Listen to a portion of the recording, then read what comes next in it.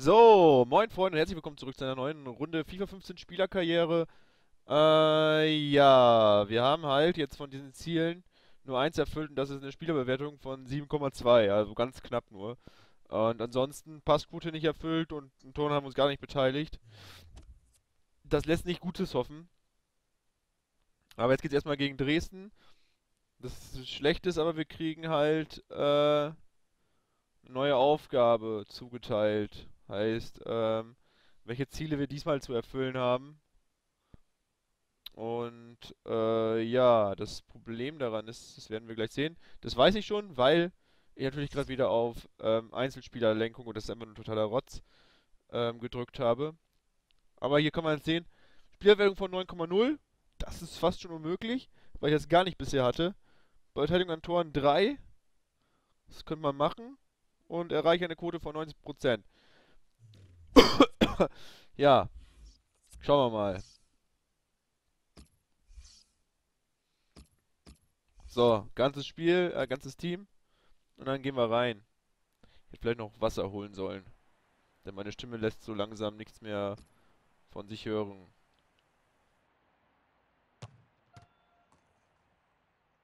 Ach, die scheiß Pillen aus Leverkusen führen 2-1 gegen Augsburg. Gefällt mir nicht. So, wir sind in Dresden. Das Coole ist, dass dieses Dresdner Stadion tatsächlich mit eingefügt worden ist. Dieses, wie heißt das? Erdgas, Erdölstadion? Weiß ich auch nicht. Ähm, wurde anscheinend erstellt und mit eingefügt. Eigentlich wohl eine coole Sache. Das heißt, jetzt geht's los. Gegen Dresden. Licht am Fahrrad. Licht am Fahrrad. Dynamo. Dynamo. Dynamo.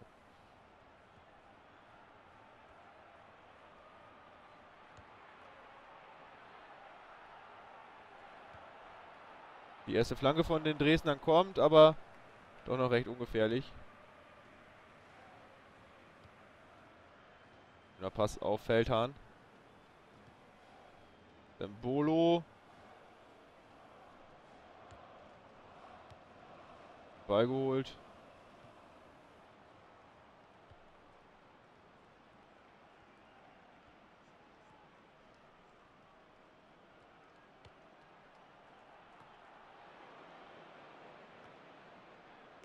Boah, und dann Sonding. Ja, und das ist halt, das ist halt das Problem. Ähm, man kann nichts sehen. In der Wiederholung zum Beispiel. So, aber Eckball. Auf jeden Fall eine Möglichkeit, am Tor sich zu beteiligen. Zum Beispiel so, so, und jetzt steht es 1-0.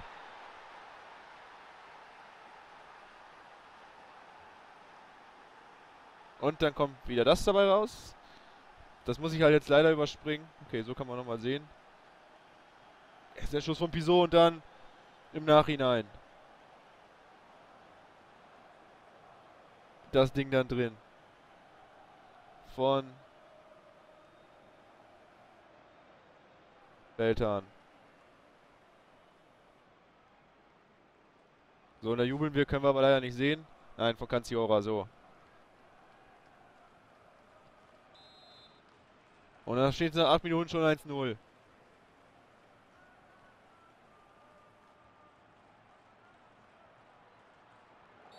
Ach, wart nicht, ey.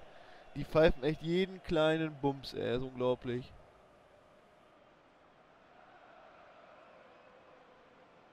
Hier nochmal das Tor.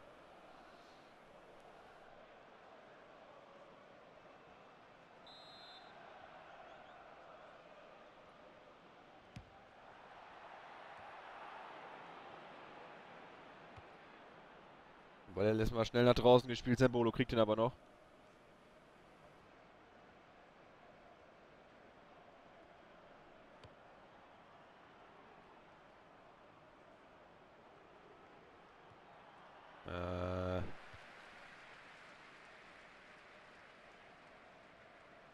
Ich hätte, ich hätte mich vielleicht nicht so groß machen sollen. Obwohl, Ronaldo ist ja auch genauso groß. Also, Wenn man dran denkt, Passquote mindestens 90 Prozent. Ja, eigentlich nicht möglich.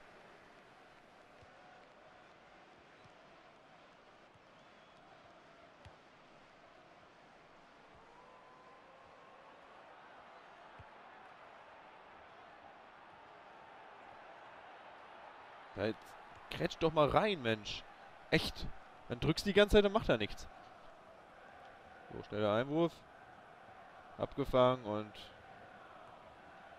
Ich hoffe, das zählt nicht als Pass, ey.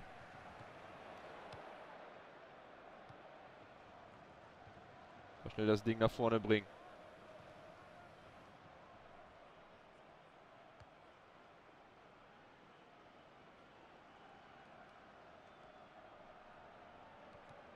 Oh, schlechter Pass.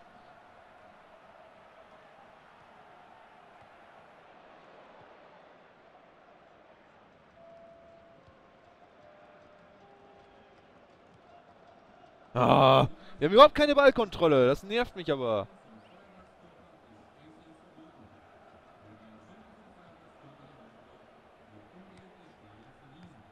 So, schnell weitergespielt. Die Flanke kommt, aber ungefährlich.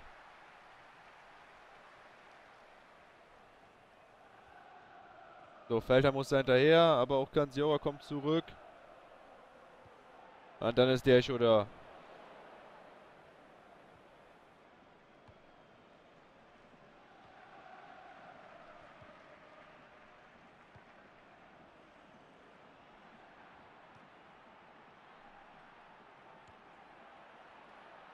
Aufgepasst. Dresden steht punktemäßig vor uns. Beziehungsweise vor dem VfL, wenn man es als Kommentator aussprechen will. Ähm, momentan für, führt der VfL aber mit 1-0 Tor Kanziora. Bisschen Glück nach einer Ecke.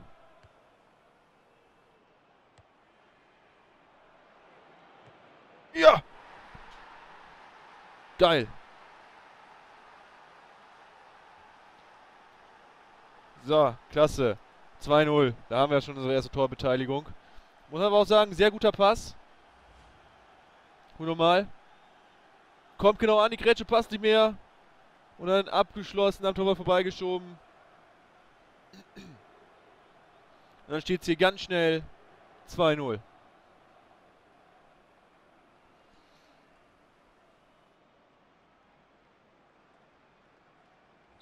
Das läuft doch wohl.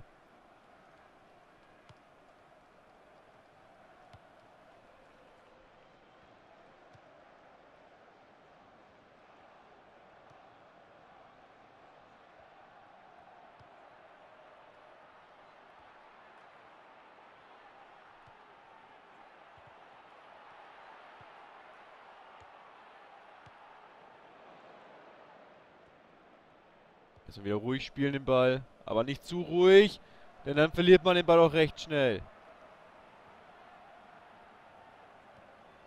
In diesem Fall. So, Dynamo jetzt im Angriff. Grätsche kommt. Einwurf Dynamo.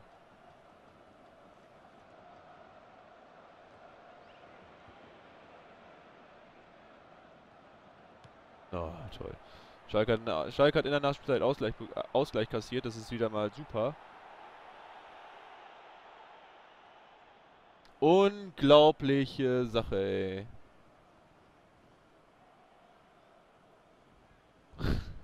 naja. So. Wir kriegen Freistoß wegen Abseits, schätze ich mal.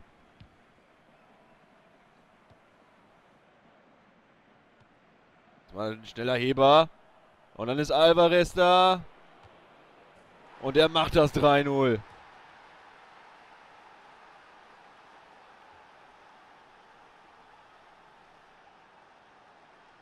Da können wir natürlich wieder leider nicht sehen, wie wir jubeln, aber guter Heber von Sembolo. Und jetzt guck mal, wie man so ein Ding abschließen soll.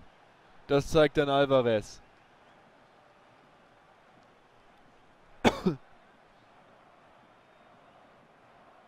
es kann ja so einfach sein.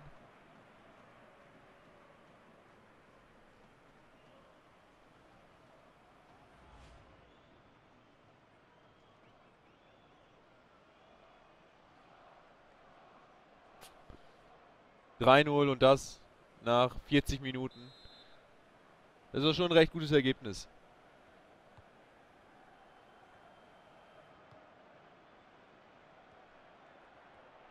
Boah. Gut den Ball geholt.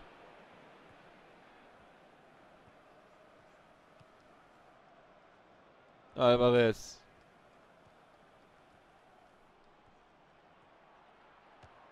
Hat Platz, aber diesmal gut gehalten.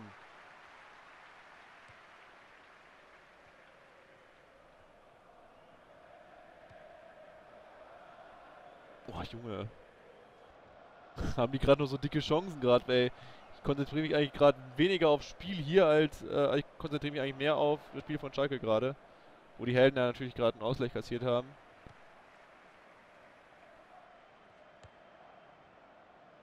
Ja, toll. Haben 1-1 gespielt, oder? Wie man in diesem Fall sagen kann, wenn man in der Nachspielzeit ein Tor kassiert und damit den Ausgleich kassiert, 1-1 verloren.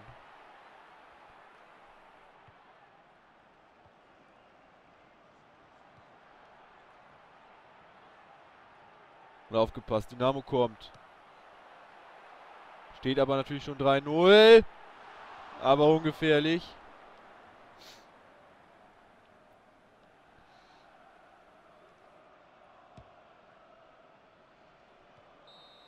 Jetzt ist erstmal Halbzeit hier. Dynamo liegt 3-0 zurück.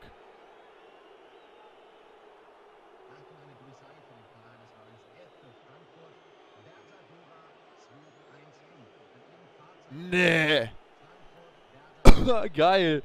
Der, ähm, der Augsburger Torwart hat erstmal 2-2 gemacht. Wie geil ist das denn? Nice. Und das gegen die Pillen, ey. Das freut mich ja. So, gehen wir in die zweite Halbzeit. So. Rein geht's.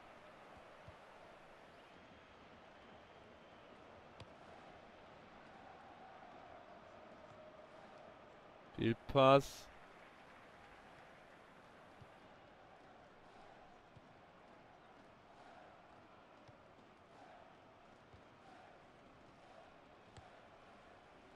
Gut den Ball geholt.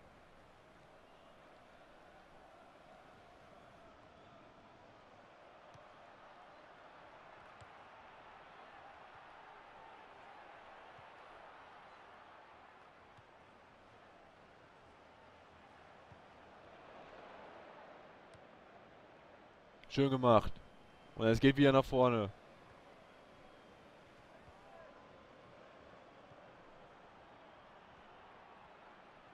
Ah, ey, die Ballkontrolle ist bei dem Charakter echt für den Arsch.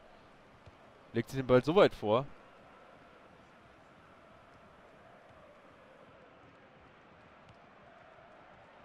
Da muss einer drauf. War gut den Ball geholt. Direkt weiter.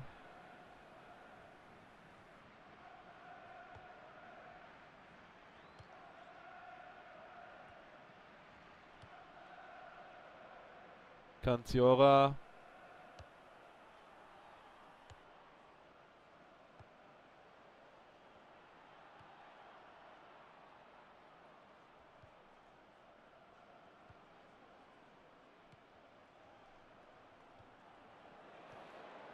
Dann Sembolo wird gefault, es gibt Freistoß.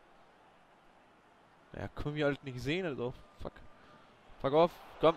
Ja, mal weiter hier. Oh, was hat's gegeben? ich sehe nichts. Kreuzer hat rot gesehen. Geil, ja, super, sehen wir viel. Gucken wir nochmal für diese Aktion. Ja klar, nimmt er eine Schere, geht von hinten in die Beine. Manche Schiris geben da wohl mal rot. Kann man trotzdem drüber diskutieren. Auch wenn ich Dynamo Dresden nicht gerade cool finde. Und Wechsel bei Osna. Sembolo geht. Ilyuchenko kommt. So, und jetzt ein Freischusstor. Das wäre natürlich der Oberknaller. Ja, schade. Normalerweise dachte ich, mit so viel Druck sollte der Ball vernünftig kommen. Geht aber voll in die Hose. Nächster Wechsel bei Dresden. Oder erster Wechsel, weiß ich gar nicht.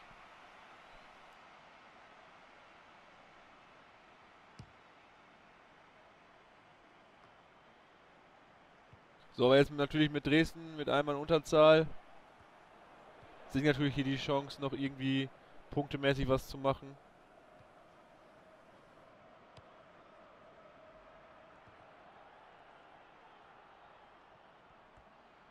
Groß.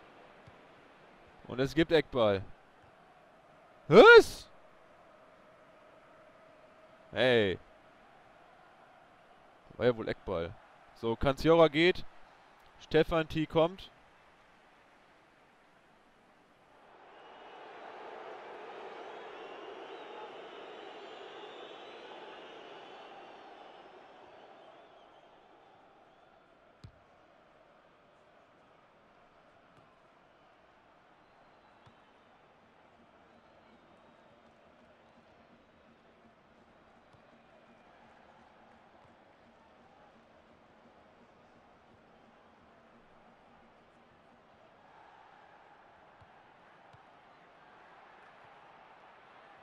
Achtung, da muss man auch irgendwie den Ball wiederholen.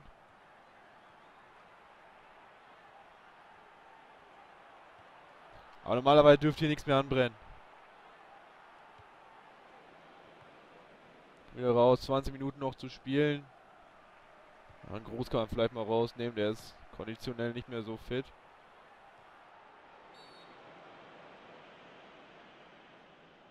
So, und dann gibt es Freistoß für uns. So, nächster Wechsel bei Dresden. Stefaniak kommt.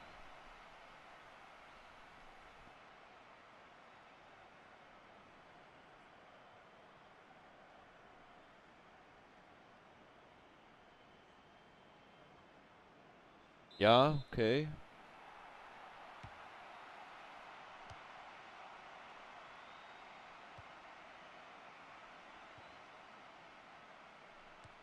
Und weiter geht's jetzt wieder mal nach vorne für den VfL.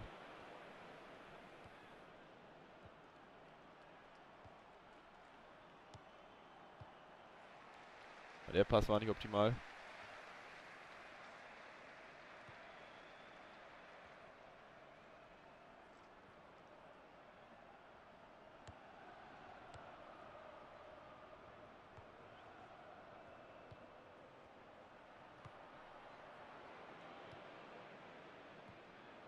Schnell nach vorne gespielt, aber ich glaube, wir haben nicht mehr so viel Tempo.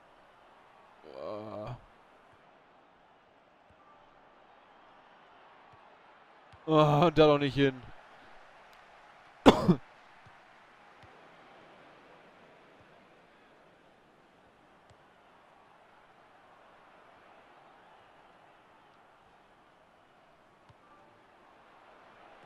ah. Da kriegen auf jeden Fall schon mal wieder plus eins. Oh Mann. Das ist echt, äh, echt deprimierend, wenn man nur Graues sieht.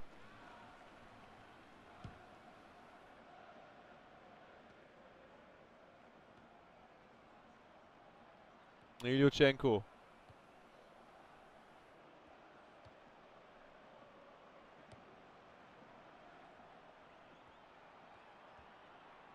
Mal stark durchgesetzt. Und dann die Latte im Weg. Für Menga. Und Vigas hat Glück, dass er hier nicht das vierte kassiert.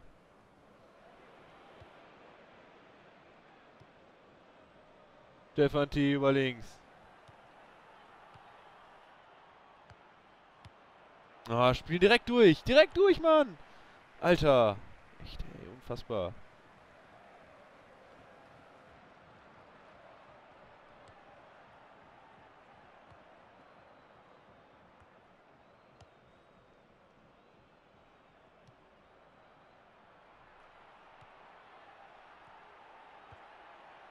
Oh, Achtung. Was riskieren hier? Das wäre unnötig.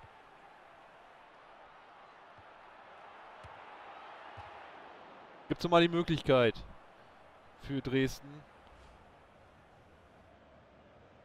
Teixeira, aber Ball geht klar dran vorbei.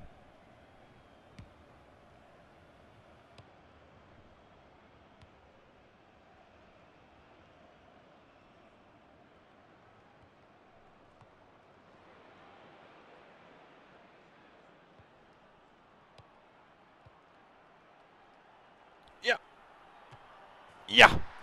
Woo! Dann machen wir den zweiten. Grau und grau.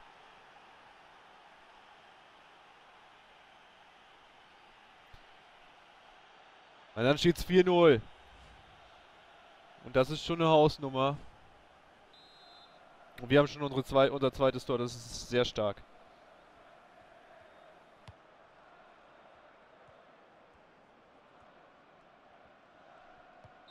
Oh, das wäre doch schon. Das wäre noch. Also, also, also, also, hallo, hallo. Mal jetzt hier, ne? Aber gut, ähm, das war's dann für das Spiel gegen Dresden. Mal gucken, äh, also kommt, äh, Zweikämpfe gewonnen, verloren, 1-5, Ballbehauptungen 5 zu 6, also sieht, und Spielbewertung 9,6, das ist sehr gut, weil wir haben jetzt noch insgesamt drei Spiele vor uns, mit der ersten Spielbewertung von 9,6 ist das schon mal sehr, sehr schön. Äh, Tore 2, aufs Tor ähm, 2, vorbei einer, Torvorlagen leider 0, also das eine zählte nicht als Torvorlage, das heißt, wir müssen auf jeden Fall noch ein weiteres Tor schießen oder vorlegen. Dann hätten wir auf jeden Fall schon mal eins erfüllt. Ich hoffe, euch hat es gefallen. Wir sehen uns beim nächsten Mal wieder. Haut rein. Ciao, ciao.